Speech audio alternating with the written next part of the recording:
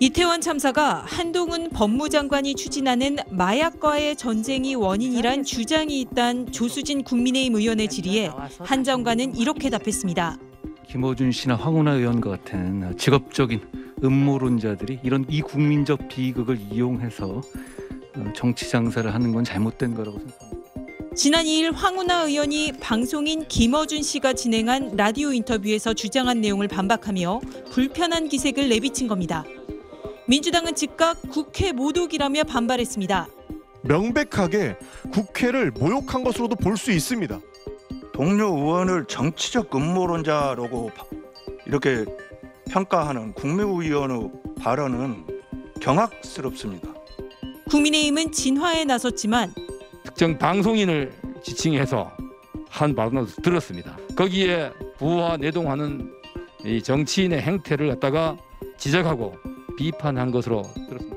내부에서도 비판이 나왔습니다. 국무위원으로서의 품에 맞지 않는 행동이라고 저도 판단합니다. 그 부분에 대해서는 사과를 해주시기를 부탁드리고요. 쏟아지는 사과 요구에도 한 장관은 거부했고 저는 음해를 받은 당사자로서 할 수 있는 얘기라고 생각합니다. 야당 의원들이 한 장관의 퇴장까지 요구하고 나서면서 회의는 두 차례나 멈춰섰습니다. 결국 자정을 넘겨 재개된 회의에서 한 장관은 자신의 발언으로 진행에 차질을 빚어 유감이라고 사과했습니다. SBS 권란입니다.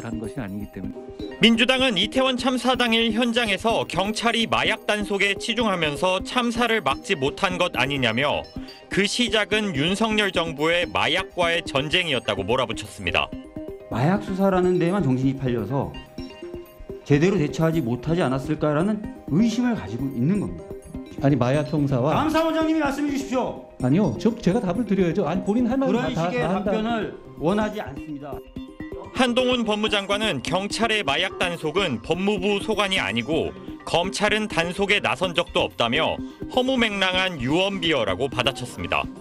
마약 수사 제대로 하면 안 됩니까 어떻게든 간에 이렇게까지 못하도록 괴담을 만드는 것에 대해서 이른바 청담동 술자리 의혹을 제기한 민주당 김의겸 의원과의 설전도 이어졌습니다. 마약과의 전쟁의 어떤 시발점 이거 장관 아닙니까? 경찰이 마약 성과가 있는 게 저랑 무슨 질문드립니다. 제 상관이 질문입니다. 네. 우선 한동훈 의원님 맨날 장관께서 이렇게 던지고 그냥 마시잖아요 주워 담지도 못하시죠 해결도 몇 번 안 하시고 사과도 없으시고요 아, 제가 그걸 왜 사과를 해야 됩니까? 이태원 참사 진상규명을 위한 특검 도입 여부를 놓고도 민주당 이재명 대표는 당장 시급한 건 국회 국정조사지만 강제조사 권한이 없기에 특검을 논의할 때가 됐다고 한 장관은 신속한 수사가 관건인 대형 참사 수사에서 특검은 진실규명에 장애가 될 수 있다고 맞섰습니다. 최재해 감사원장은 이태원 참사 정부 대응에 미진한 부분이 있다면 감사를 검토하겠다고 밝혔습니다. SBS 장민성입니다.